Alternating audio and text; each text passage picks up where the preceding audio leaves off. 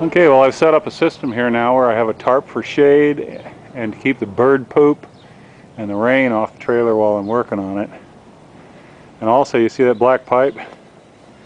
That is suspended and adjustable.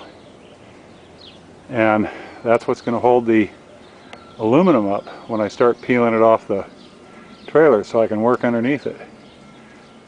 Uh, you'll see as I get further along.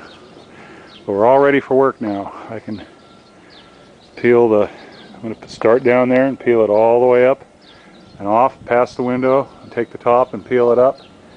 And it'll be suspended up there while I replace paneling. And then everything will go back together and then I'll do it in the rear.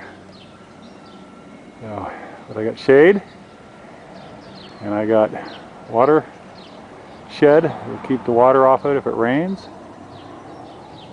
I got a way to hold up the aluminum skin while I'm working underneath. So there we go. We're all ready for it.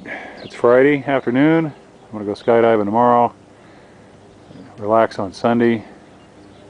Monday morning we start. There we go. There from the back.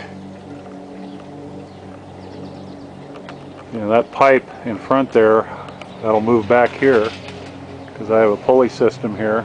Not with real pulleys, but it's a pulley system. And the whole thing will slide back here on that rope. And then we can hold the back part of the aluminum up while I'm doing the back part. I got just enough room in here to work. And we'll pull this trailer out and put the other one here in front and do the same thing with it. Uh,